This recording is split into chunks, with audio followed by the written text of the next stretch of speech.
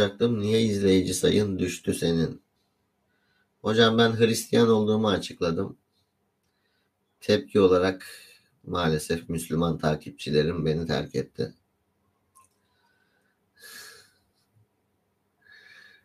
Halbuki İsa'nın sevgi mesajına bir gelseler, Aziz Pol'ün mektuplarını okusalar hidayete erecekler ama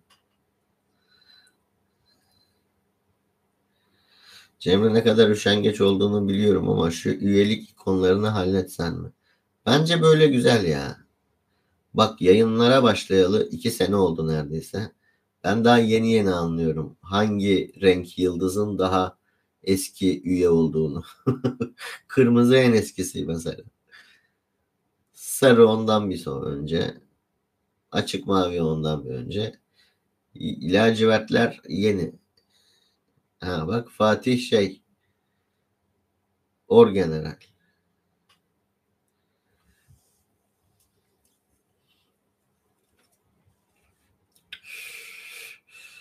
Ne yapıyoruz ki üye, üye ikonlarına? Yani onun için bir şey tasarlamak lazım. Küçük hali de güzel görünecek bir resim falan mı koymak lazım? Gerek yok bence. Yıldızlar güzel hocam. Alnında yıldızlı bere. Çocukken beni konsere diye kiliseye götürürlerdi. Hristiyan mı ailen? Mayal. Ya bak Hristiyanımız yok diye üzülüyorduk. Sünnimiz var, Alevimiz var, Yahudimiz var. Yahudi var, şey yok, Hristiyan yok.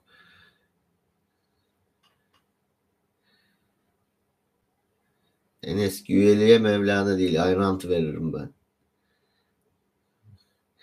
Değil de yaşadığımız yer Hristiyan çoğunluktaydı.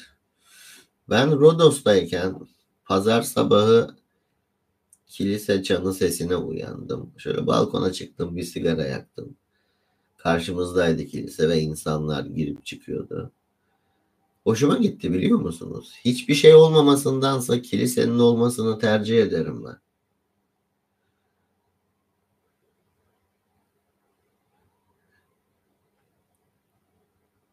Yani dinsiz bir toplumdansa inanan bir toplumun içinde yaşamayı isterim. Ama şöyle en korkuncu kötü bir dine inanan toplumda yaşamaktır.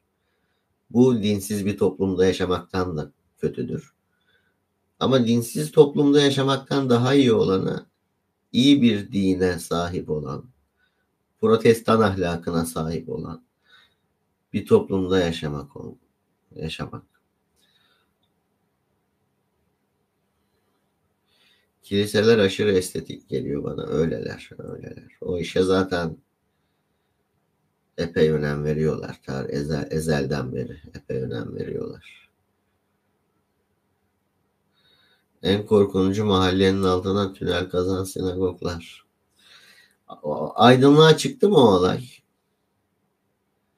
New York'taydı değil mi o? Yani acil durum çıkışı diyeceğim ama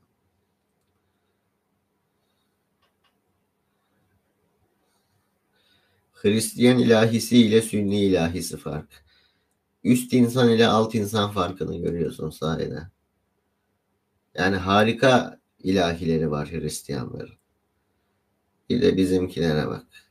Allah deyip yanalım, gözden yaş akıtalım. Müzik sesi olarak da insan sesi. Ha hada hu ha, ha hada hu ha. Çalgı haram ya. İnsan sesiyle müzik yapıyorlar.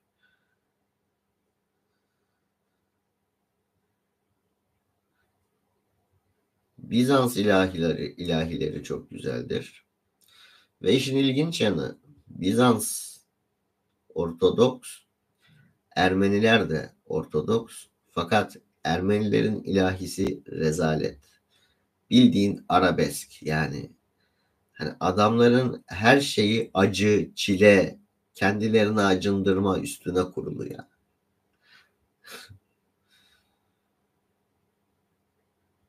Ama Batı Hristiyanlığının ilahileri çok çok çok çok güzel. En sevdiğim ilahi şeydi benim. Deminden beri ismini düşünüyorum arka planda da. Bir gelmedi aklıma. Kur'an Müslümanıyım ama bazı ilahilerimiz güzel bence. Güzel olan ilahilerimiz genellikle tasavvufi oluyor ya. Ve onlar da şirk dolu oluyor.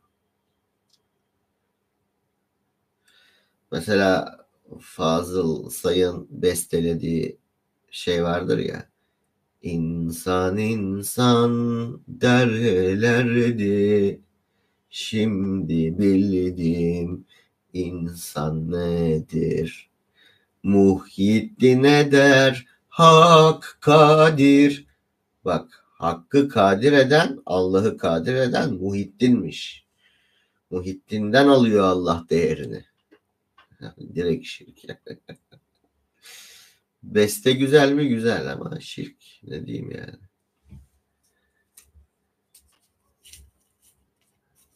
İnsan nedir bildim derken de kastettiği şey vahdeti vücut.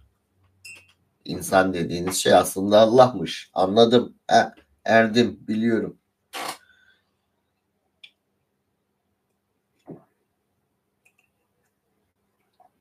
Muhyiddin dediği Muhyiddin İbni Arabi geliyor aklıma ama o da olmayabilir. Başkası da olabilir. Çünkü Arabi çok e, hardcore savunucusudur. Vahdedi vücudun.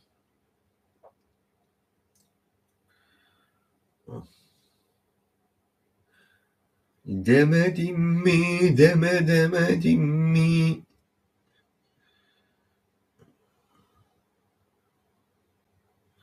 Mesela zahit bizi tan eyleme.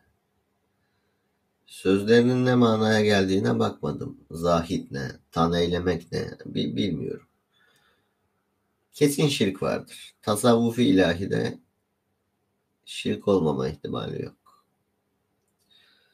Ama şey güzel veya Bismillah Allah Allah Allah Bismillah Allah Allah Allah Hayko Cepkin ilahi okuyarak gazımızı aldı ama yetmez. O Hayko o ezanı okuyacak. Abi bak 13. yüzyılda yaşasaydı ve Müslüman bir toplumda doğsaydı Hayko'yu direkt müezzin yaparlardı. Tam ezan okumalık ses ya.